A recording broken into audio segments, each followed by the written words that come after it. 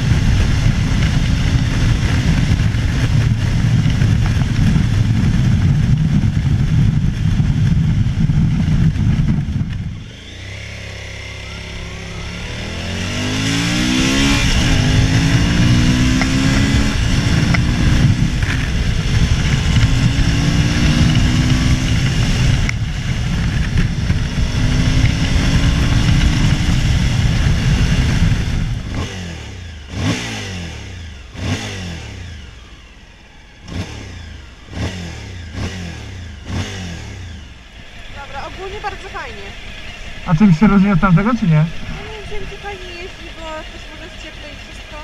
A, Dźwięk faktycznie chyba lepszy. co lepsze? Ten dźwięk faktycznie Nie, no tak, to wiadomo.